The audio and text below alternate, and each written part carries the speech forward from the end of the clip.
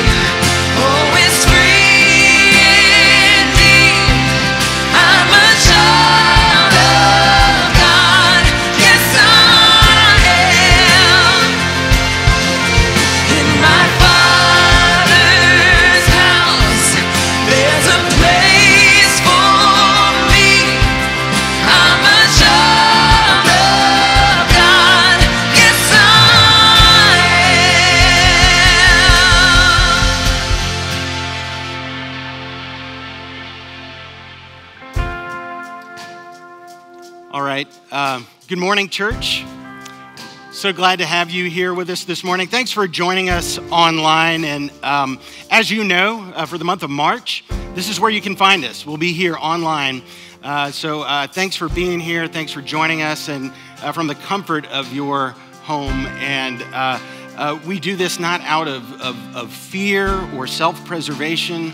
we're meeting here online just as a practical outworking of loving your neighbor as yourself. And so uh, thanks for being here with us. Now, uh, much like many of you, a lot of things have been canceled. We've been cooped up like all week. I, I don't know if you're feeling this. Uh, we've all switched up to like homeschooling our kids. Some of us are working from home, and uh, events as a whole have been canceled. And so uh, we've been feeling a little cagey, a little, little cooped up. And when I start feeling that way, one of the things I like to do is just laugh. And so uh, we have a few things that I hope will make you laugh this morning, some things that I found on social media uh, that I want you to take a look at, uh, some tweets, some memes, and uh, let's take a look at the, the very first one.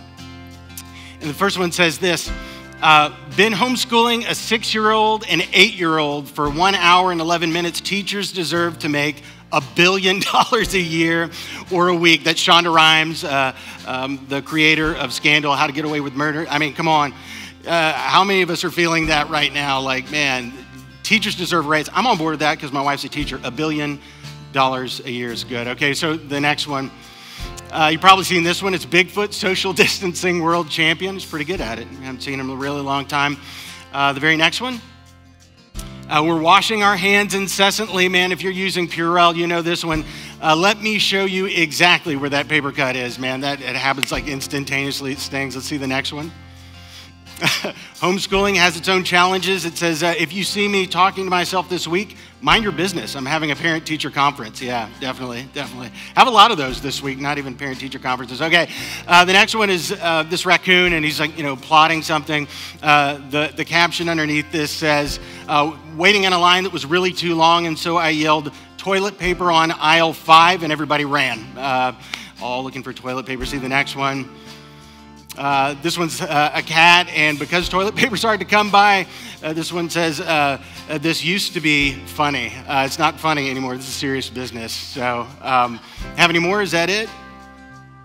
Okay, that's it. All right. Well, hey, uh, hope that made you laugh. I know, I know, uh, we're all feeling cooped up. We're all feeling a little bit cagey, but we do believe that laughter is good medicine. And and just a few things uh, to remember uh, this week that um, uh, we're praying for you, and uh, we know this is difficult. We're, we're, praying for all of you, and uh, we want you to remember that even though that we're uh, distant from one another, that God is among us, that He's with us. Um, he says that I will never leave you, I will never forsake you. And lo, I'm with you always, even until the end of the age. And so uh, God is with you today. And, and, and we're here praying for you as well. And, and one of the things that we want to remind you to do is to live as Jesus lived. And one of the ways that he lived was by loving his neighbor well. And so, at, at, a time where even we're social distancing, reach out and connect with your neighbors, whether that's by phone or text. Uh, uh, catch up with somebody that you haven't caught up with in a really long time and uh, love your neighbor well. Be, be a voice of, of hope and encouragement and love during a time of fear and panic. And let's not panic, let's have peace. So I uh, want to encourage you to do that. I want you to remember that God is with you, He'll never leave you. And uh, just uh, ask that you would pray with us during this time before we head into worship God. Thank you so much that you are here among us today uh, that you love us, and though we feel distant from one another, or though we feel uh, alone, that we're not alone because you're there among us, God. And uh, we thank you for that. And we just we just pray for your guidance this week and patience this week, and as we homeschool and as we uh, are stuck inside, Lord, that you will find different ways for us to connect with you and with others. And we love you. It's in your Son's name that we pray. Amen.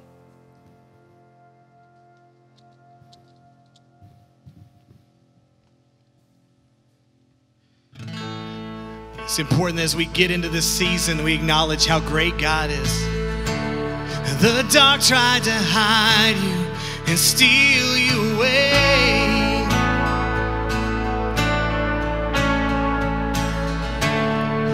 Death tried to keep you inside of the grave.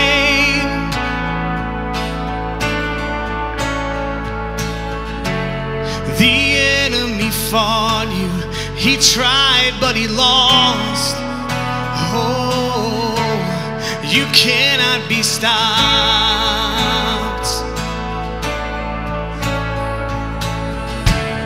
When they cried for freedom, you tore down the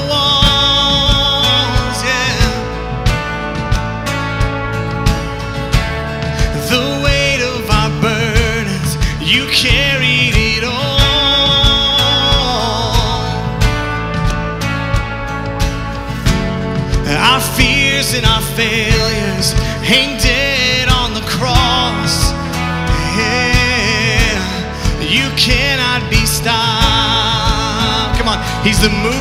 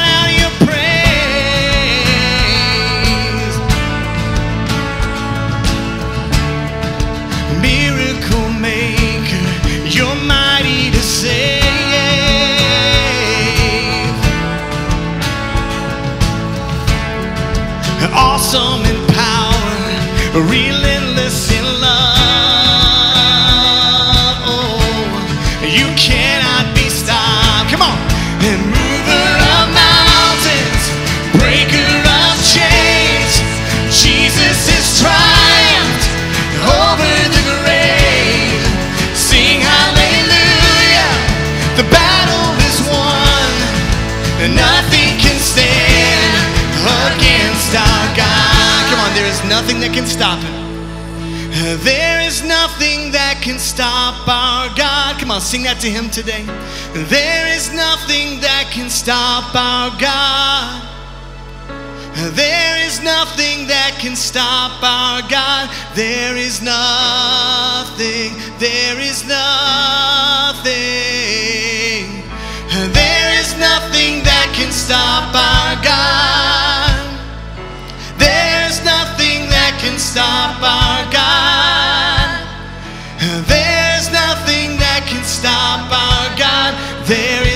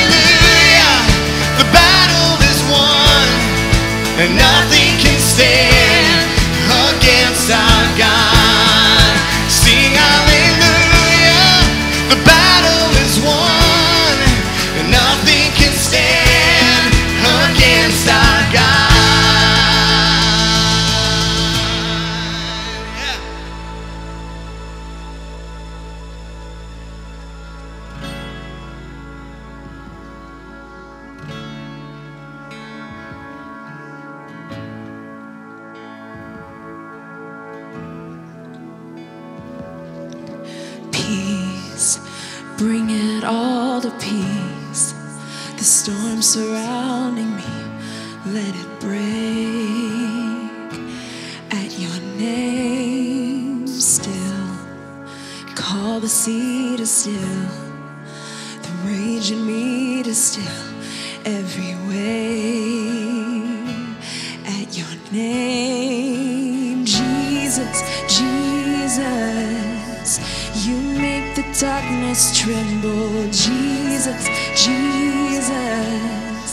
Silence fear, Jesus, Jesus.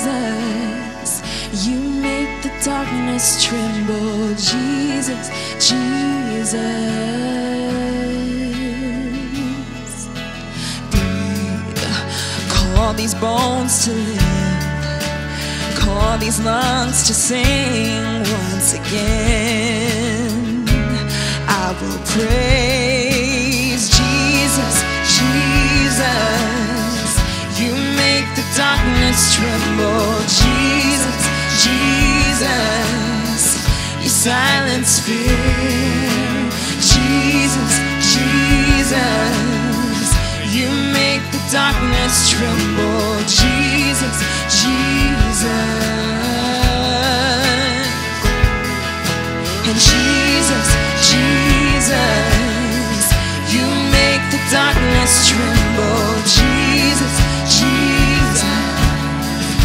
silence fear.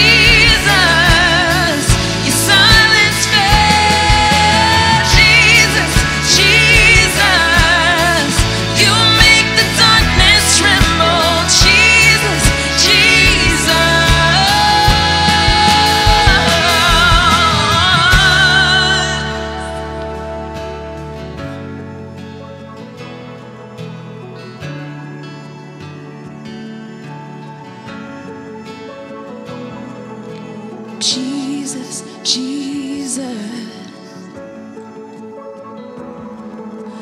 Jesus, Jesus. Your name is a light that the shadows can't deny. Your name cannot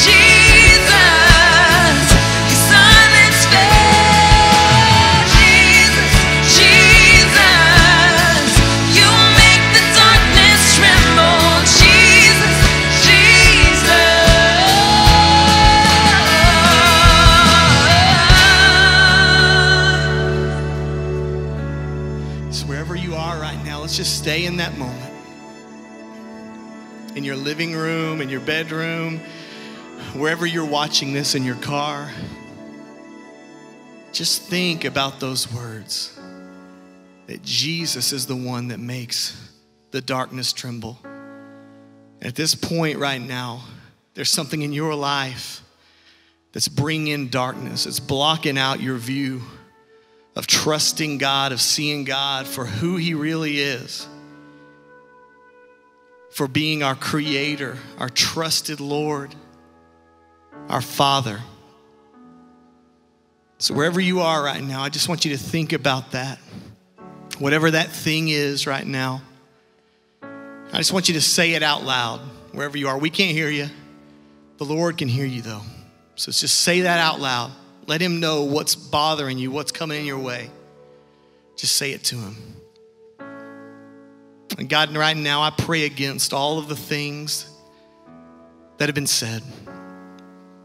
God, we pray that in your name, God, that you would shine through, that you would give joy and peace that you promise us, that you can, only you can give.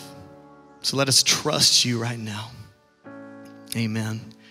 As we move forward in worship, um, we're just going to think about right sizing our view of who God is. He's bigger than our thoughts, He's bigger than our fears. He knows every tear we cry. Let's trust Him in this moment and realize that He knows what you are going through and what I'm going through. And let's lay it at His feet right now. And speak to me when the silence steals my voice. You understand me. You understand me. Come to me in the valley of unknowns. You understand me. You understand me, yeah. You understand me, God. You understand me. Come on, let's throw our cares down. I throw all my cares before you. My doubts and fears don't scare you. You're bigger than I thought you were. You're bigger than I thought. So I stop all negotiations with the God of all creation. You're bigger than I thought you were. You're bigger than I thought you were. Yeah. Yeah. Just think on those words. He is bigger. Let's pray to Him right now to help us with our belief. Let us trust Him in all things. Come on, sing this with me. And I believe, but help my unbelief. You understand me. You understand me. Come on, help me reach. And help me reach the faith that's underneath. You understand me, yeah. You understand me, yes, He does. You understand me, God. You understand me. Come on, sing with me where you are. I throw all my cares before you, and my doubts and fears don't scare you. And you're bigger than I thought you were. You're bigger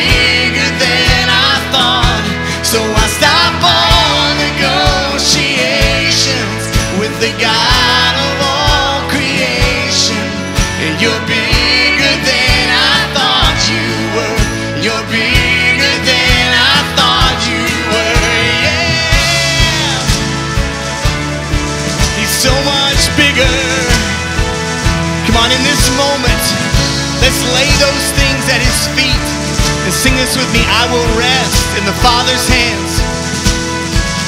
I will rest in the Father's hands. That's where we receive our peace. Leave the rest in the Father's hands. Come on, I will rest. I will rest. Lay it down in the Father's hands. I leave the rest in the Father's hands. I will rest. Yeah, I will rest in the Father's hands. Come on, He's ready to hold you. Leave the rest in the Father's hands.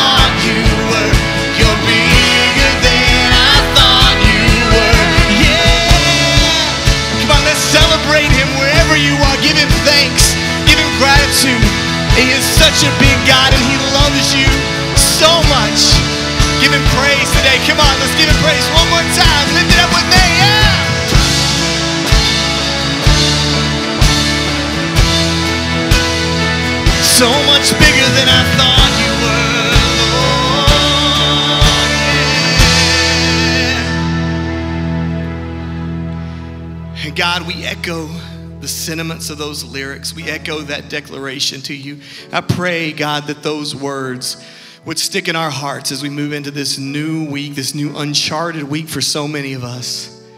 God, let us bring it back to your word and realize, God, that you promise us you're not going to leave us or forsake us. You promise us that if your eye is on the sparrow and you think about even the birds in the air, God, that we should never fear that you're going to take care of us.